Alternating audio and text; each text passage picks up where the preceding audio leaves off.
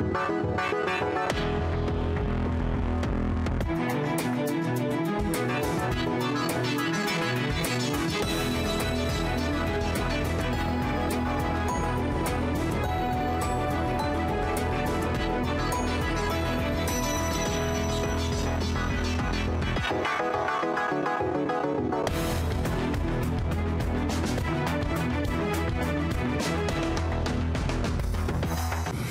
again, and thank you for joining us for this Monday's edition of Alaska Weather on the 24th day of April 2023.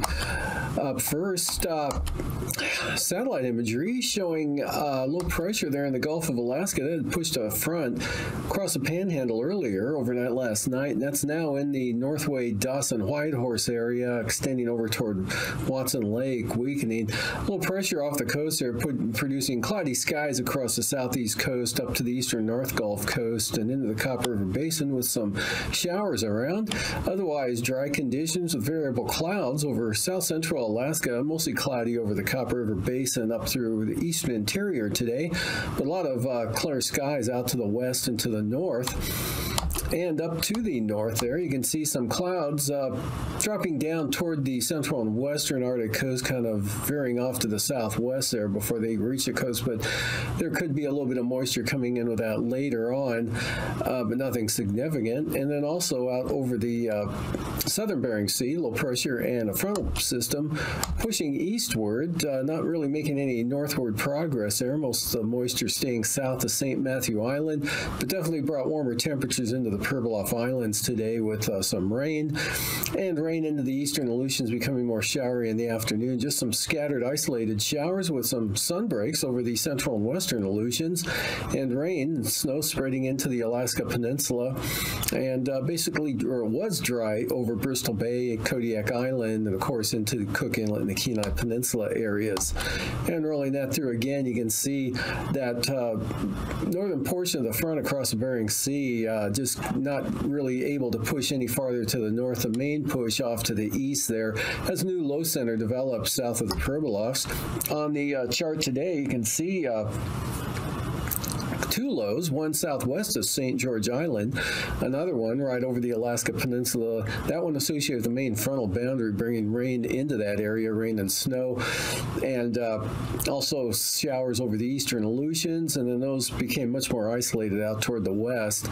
And still a lot of clear skies over the western interior and the northern interior as well. Still gusty winds through the passes of the Brooks Range, but not as strong as they were over the weekend, and still pretty breezy over the northeast interior area areas, but again, not as strong as it was over the weekend. And uh, northeast winds, east northeasterly, still 15 to 25 miles an hour. A few areas higher elevation, seeing some higher gusts, but nothing uh, really heavy, either precipitation or wind wise, over the eastern interior, with areas of snow showers, snow, light snow, or flurries uh, from the Yukon River southward into the Copper River Basin, Prince William Sound, North Gulf Coast areas, and showery and cloudy over over the southeast coast. Still another trough off to your southwest there. We'll keep it unsettled uh, throughout tonight, tonight, and into tomorrow. Otherwise, uh, looking at the forecast for tonight, that trough approaching the coast, really weakening as approaches, but enough moisture with it. Keep it cloudy with uh, shower chances across all of the panhandle from Dixon entrance up to Lincoln on Glacier Bay. Risk of a shower or two around the Yakutat area, a little bit better chance as the flow becomes more southeasterly into the western North Gulf Coast. Rain and snow move into Kodiak Island, and periods of rain and snow are in store for the Alaska Peninsula and Bristol Bay, even up into the southern Kuskokwim Valley. And clouds will increase over Cook Inlet and the Matanuska-Susitna Valley overnight tonight, with increasing chances of snow showers, mainly over the mountainous terrain, uh, especially along the Alaska Range and along the Coast Range and the eastern Kenai Peninsula, western Prince William Sound locations. I'd see the best chance of some uh, moisture overnight tonight.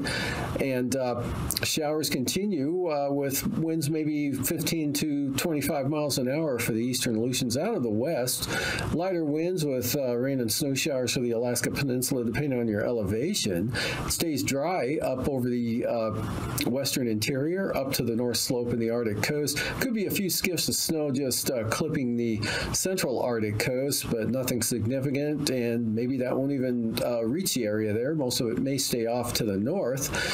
And looking ahead to Tuesday, still chance of showers over the panhandle, especially over the northern areas, more scattered, maybe a break, some break or two over the southern southeast coast with uh, next system starting to push some rain up mainly toward the Queen Charlotte Islands, but that low southwest of the Queen Charlotte will be tracking north northeastward overnight tomorrow night, so that'll spread more rain in over Tuesday night into the southern and eventually the central southeast coast.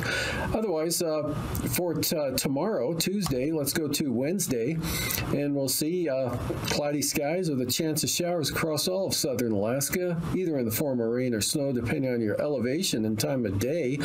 Uh, rain and snow showers possible along the North Gulf Coast and over the northern panhandle. Again, uh, more scattered in nature to the southern southeast coast. And yet another system developing and will begin to spread some moisture up toward Kodiak Island late in the afternoon and for Wednesday evening. And out to the west, uh, snow showers make a return to the Aleutians as the winds turn more northerly again, bring some colder air and snowfall levels back down to sea level from Shemya-Attu eastward, even into the Alaska Peninsula. Snow showers over the Yukon Kuskokwim Delta area, mostly south of the Yukon River out that way, and into the Kuskokwim Valley. Chance of snow showers as well as uh, along the Alaska Range into the Copper River Basin. Rain and snow showers uh, chance of for Cook Inlet, likely for the southern and eastern Kenai Peninsula and western Prince William Sound areas. Dry in the central interior. Now, chance of snow showers exists along the Brooks Range, but those will be quite light, whatever does occur out that way. And uh, winds pretty light now, most everywhere. You can see a lot less gradient over the interior than what we've had. So winds becoming light and variable over the inland areas, and not all that strong over the Bering Sea or the Aleutians, and maybe a little breezy with southerly winds over the Panhandle. Lows tonight 35 to 40 for the southeast coast, near 20 in the Copper River Basin, 10 to 20 in the Kuskokwim Valley, 20 to 25 for Bristol Bay, and mid 20s to lower 30s south central Alaska, followed by highs in the 40s east of the Alaska Range and the 30s to the west, including Bristol Bay, highs in the 40s for the Panhandle, and lows Wednesday morning. Not much change for the southeast coast, mid to upper 30s to near 40, and uh, lower 20s for the Copper River Basin, and upper 20s to lower 30s, a little milder now for south central Alaska and the Susitna Matanuska Valley, as well as Kodiak Island, 20 to 25 for the Kuskokwim Valley, and upper 20s for Bristol Bay. Highs in the 40s everywhere across southern Alaska on Wednesday afternoon, and 45 to 50 over the southeast coast. Lows tonight anywhere from 5 to 10 over the central interior to 10 to 15 below for the Brooks Range and the central North Slope areas, and generally below zero again for the Arctic coast. Single numbers for the Seward Peninsula, anywhere from run, 1 from Shishmaref to 10 for Nome. Highs above freezing for the Fairbanks area eastward and below freezing everywhere else, followed by lows a little milder for Wednesday morning. Highs now reaching the 40s for the uh, upper Tanana Valley over toward Eagle and Northway, and uh, lows tonight in the lower 20s for the Pribilofs and 30s elsewhere. Highs tomorrow mid 20s for the Pribilofs and 35 to 40 elsewhere, followed by. And now, aviation weather around Alaska. Flying weather Tuesday morning. A lot of VFR over interior Alaska. Some marginal VFR there along the eastern Alaska range, uh, westward to about uh, the northern Susitna Valley, and also some marginal VFR for the North Slope. Otherwise, the Panhandle has some VFR in the central areas and then marginal either side. North Gulf Coastal VFR. Then the IFR out over Bristol Bay, Alaska Peninsula, up to Kodiak Afognak Islands, and uh, otherwise uh, a couple areas areas of uh, IFR there near Amchitka and then over the western Bering with marginal VFR farther north now into the Yukon Delta coast and creeping up towards St. Lawrence Island. And for the uh, afternoon Tuesday, uh, that area kind of uh, becomes VFR across St. Matthew Island to the Pribilofs in the afternoon.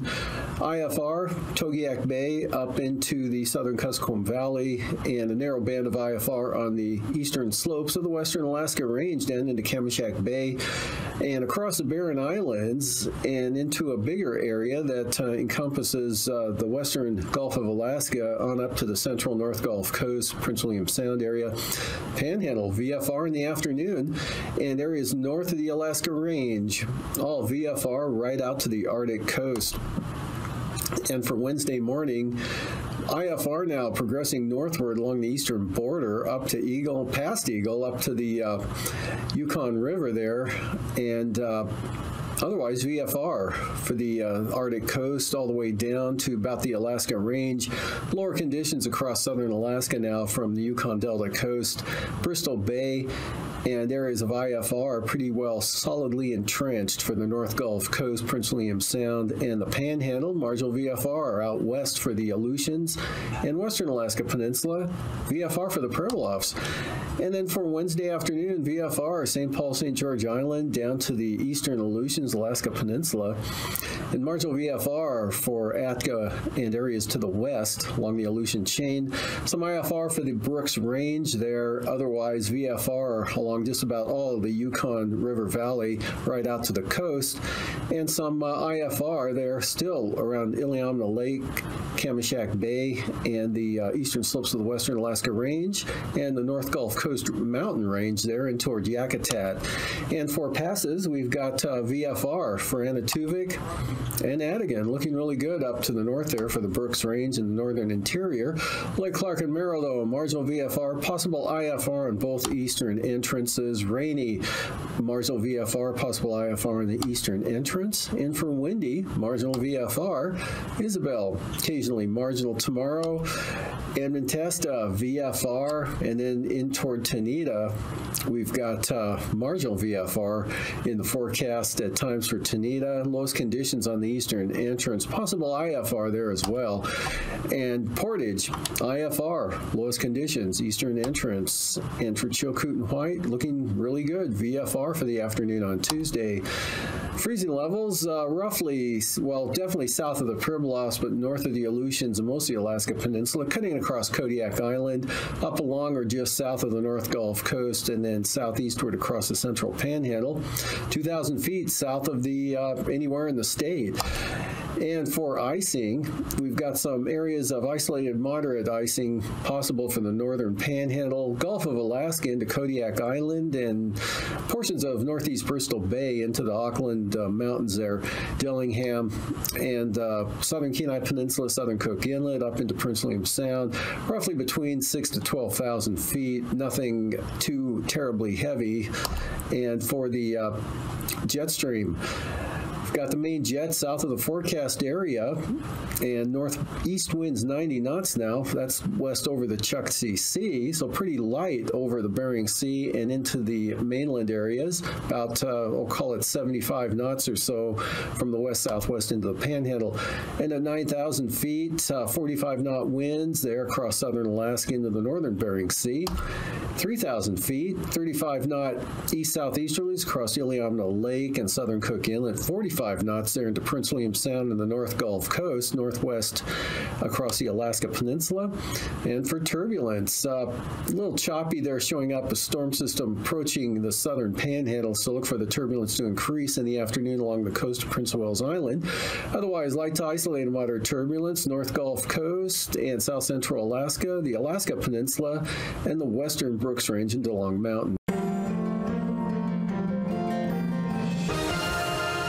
Hello and welcome to this edition of Alaska Weather Facts. I'm meteorologist Carrie Haisley, Chief of the Emergency Services and Multimedia Branch for the National Weather Service in Anchorage. With me today, I have Dr. Doug Wesley, a physical scientist for the National Weather Service Alaska Region Headquarters. Doug, thank you so much for joining us today. You're welcome, Carrie. Hello. Hello. So you're here to talk to us a little bit about something called CoCoRaHS, which is the Community Collaborative Rain, Hail, and Snow Network. And I understand that CoCoRaHS is a network of volunteers who take weather observations. Can you tell us a little bit more about what CoCoRaHS is? Yes, it, it began in the lower 48, oh, 20, 20 some years ago, and it's, it's expanded during those two decades. Uh, they're getting something like 10 to 15,000 rainfall reports per day from the lower 48. Wow, that's a lot of different reports. So, how many reports do we get in Alaska right now? Well, you know, it varies. Uh, maybe 10 to 25. Uh, but if you consider the large areas we're talking about, uh, we have a lot of gaps to fill. Uh, you know, any observation is better than no observation, but um, there large areas in Alaska. Alaska covers uh, three three million square miles. There's a lot of data gaps in that space, so we'd like to enhance it. Sure. So tell us then a bit about why these observations are so important to Alaska and, and why we need to expand the number of them that we're getting. Yes, Alaska, as as you know, has large areas with a lot of complex terrain, and there are no weather observing stations or radar. So CoCoRaHS can help fill the data gaps, uh, so you can at least get some idea of what's actually falling from the sky at those locations. CoCoRaHS increases the amount of timely weather, weather observations available to meteorologists and other decision makers, especially in hazardous type of weather, uh, both rain and snow and, and, and the occasional hailstorm that we get up here. Uh, observations can help forecasters identify long-term precipitation and snowfall trends in, in a climate sense. And just overall, they increase the amount of timely weather observations available to the public. So then let's talk a little bit about each of the different types of observations. So it's the rain, hail, and snow network. So let's start by talking a little bit about rain observations and tell us a little bit about how you take those and how long it takes a volunteer to get a rain observation. Okay, this is a four-inch gauge, uh, just just the basic gauge, which you use for both rain and snowfall. Um, but the rain observations are, are pretty quick. It's a matter of two or three minutes that each volunteer goes out and takes a reading, and then uh, they enter these on the computer, and they're immediately available uh, for for observation on the computer um, and on the maps, so that you can see see your report. The, in the wintertime, it's a little bit more complicated. Um, we require the observers to measure not only the snow accumulation, but also liquid equivalent. So they've got to melt the snowfall. This involves two of these gauges and a snowboard. And it's, you know, it, it's uh, maybe a 10 minute observation per day during the winter. But the snowfall is so variable that even across town and, and in especially the remote areas, it's, uh, it's crucial that we increase this, this number of snow observations in the network. Right. I understand that we can only take observations in places where we have weather service offices. And so we rely on all of these volunteers to help us fill gaps. And it's also interesting to know how snowfall varies across like large spaces or even small cities. So I notice here in Anchorage, for example, we can have a vastly different amount of snow on the east side of town and the west side of town. And so it seems like these observations would help us to better understand what's going on in places besides just where the office is. That's correct. Uh, you know, in any given snowfall, there are, there are typically large variances, as you know, and uh, you know we rely on reports from the public and from from National Weather Service cooperative spotters to to uh, map out the snowfall that occurs so that we can predict it better in the future. Sure. So we talked about rain observations and we talked about snow observations, and you said for each of those, um, if it's rain, it only takes a couple minutes, and then it can take about ten minutes if it's snow. Hail was the other one that we didn't talk about yet. Tell us just a little bit about the hail observations that CoCoRaHS observers take. Yeah, the Network, um, it, it, has a hail pad, and it's just a simple um, block of styrofoam covered with aluminum foil, and you can approximate the size of hail by measuring the, the dent that the hail causes on the pad, and this can give us an estimate of hail size. We don't get hail very often in Alaska, but I've seen it two or three times in my five years in Anchorage, and uh, and some of it up to a half inch. Uh, and I'm sure there's been larger hail up in the interior at times. So let's talk a little bit about how these uh, rain, hail, and snow observations can help forecasters. So we have people who forecast the weather, and we also have people who work on the hydrology side. And I can see that maybe CoCoRaHS will be beneficial to both of them. Can you tell us a bit more about that? Yes, uh, it's beneficial to to the hydro, hydrologic forecaster who's concerned about flooding, and, and uh, rainfall is a is comprises uh, uh, one of the causes of a flood, or it can exacerbate high water conditions. So the more the hydrologist has to look at in terms of data from recent rainfall, the more information they have to work with when they're generating a forecast um, you know, the, the weather forecasters in the wintertime uh, at the Weather Service office can use these observations also to, to help with past case studies, to, to verify model data, and to get a handle on, on what's actually happening out the window. And that's important in the forecast process. Yeah, it seems like you can never have too much information when you're you're issuing a forecast. So it only takes a few minutes most of the time to take these observations. So let's say I'm interested in becoming a volunteer for CoCoRaHS. How do I get involved? Yeah, the, the website is very useful, cocorahs.org, and uh, it has a number of video based uh, training um, tutorials that take you right on from from measuring rainfall to a video tutorial on measuring snowfall. Um, it, it has the maps available in real time, and you can go back and look at that, that old data too through those maps. And so it's a very useful, comprehensive website. Very interesting, and anybody can get involved, right? You don't have to be a meteorologist.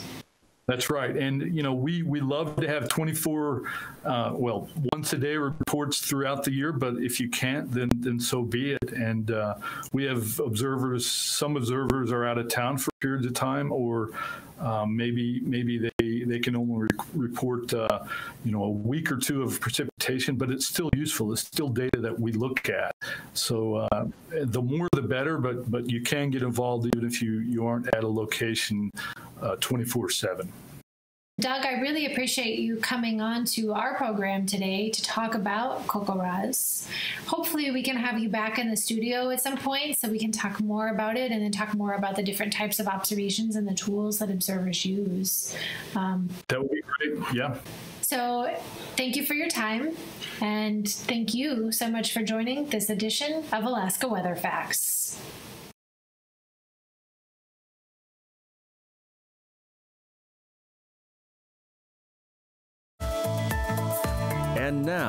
Marine weather around Alaska.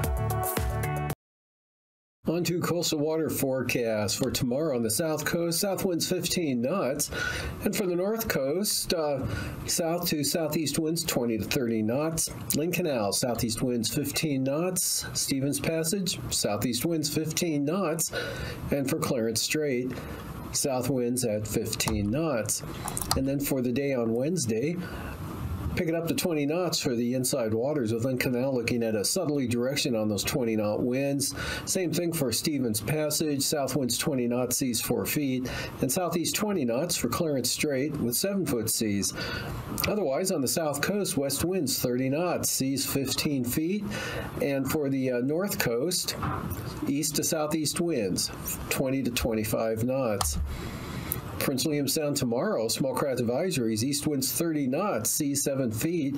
And for the uh, eastern North Gulf Coast, east southeasterlies at 30 knots, west side, southeast at 20. And for the Barren Islands and Kamishak Bay, look for southeast winds at 25 knots. Cook Inlet, northeast winds 20 to 25 knots. For Wednesday, Prince William Sound, easterlies at 20 knots, eastern North Gulf Coast, wind southeast 30 knots, east 25 knots for the western North Gulf Coast, and Barren Island, southeast 25 knots, Kamishak Bay east at 20 with 7 foot seas. Cook Inlet, northeast winds 15 to 20 knots. Kodiak Island, east southeast winds 20 knots for Tuesday. And for the Alaska Peninsula, southwest winds 20 to 25 knots with 5 to 9 foot seas. Bristol Bay, southeast winds 20 knots with 2 foot seas. And for Wednesday, Bristol Bay, north winds 15 knots. North to northwest winds 15 knots for the Alaska Peninsula, and Kodiak Island, south to southeast winds 15 knots. Eastern Aleutians, west winds 30 knots tomorrow for Tuesday. Adak and Atka, west winds 20 knots, and west northwest winds 15 to 20 knots for the Western Aleutians. And for the day Wednesday, Western Aleutians, west northwest winds 25 to 30 knots, central areas northwest at 20, and for the eastern Aleutians, uh, north to west winds at 20 to 25 knots. And for the southwest coast, winds will be northeast on Tuesday, 15 to 20 knots. And for St. Matthew Island, north winds 20 knots, sea 7 feet. St. Paul and St. George, north winds 15 knots, sea 7 feet. And for uh, St. Lawrence Island, northeast winds 15 knots, but Norton Sound will be seeing winds from the northeast at 20 knots. And for Wednesday, Norton Sound and St. Lawrence Island looking at a northeast breeze at about 15 knots. And uh, the Yukon Delta Coast, northeast winds at 10 knots. Kuskokwim Delta Coast, south of Nunivak Island, winds mostly northwest at about 10 knots and seas in the ice-free waters of only one foot. Pribilofs, variable winds at 10 knots with 5 foot seas. And for St. Matthew Island, winds will be north at 25 knots, seas running about 6 feet. And up uh, to the north there, from Wales to Cape Thompson, winds northeast 15 to 30 knots. Cape Thompson to Cape Beaufort, northeast winds 15 to 25 knots. And for the western Arctic coast, northeast winds 15 knots. Really light winds for the central coast at about 5 knots or less. And uh, eastern Beaufort Sea coast, east winds 10 to 15 knots. And moving on to Wednesday, start for the eastern Beaufort Sea coast, uh, winds still east 10 to 15 knots, and the central Arctic coast, winds east at about 10 knots. West side, south winds 10 knots, and then from Cape Thompson to Cape Beaufort, northerly winds at about 20 knots, and Cape Thompson to Wales, north winds 15 to 20 knots. And for tonight, again, look for uh, increasing clouds with increasing chances of uh, precipitation uh, across southern Alaska, Kenai Peninsula area, especially on the east and southern side, Prince William Sound, especially western Prince William Sound, and possibly in the Copper River Basin, but most likely along the Alaska Range. Kind of showery for the panhandle, but nothing heavy at all in the way of wind or precipitation there. Look for some moisture to move into Kodiak Island. Look for areas of snow over Bristol Bay, snow showers for the Alaska Peninsula and eastern Aleutians. And uh, for tomorrow, Cloudy skies with a chance of uh, rain or snow showers across all of southern Alaska, and same thing for the panhandle. Otherwise, dry over the northern interior areas and kind of showery over the Aleutians. Risk of some snow shower activity over the Pribilof Island, central Bering Sea, and the next day about. These forecasts are for planning purposes only. Call 1 800 WX Brief for a formal pre flight briefing. Always file a flight plan before you go flying. The U.S. Coast Guard Auxiliary urges you to leave a float plan with a friend or the harbor master before you go boating.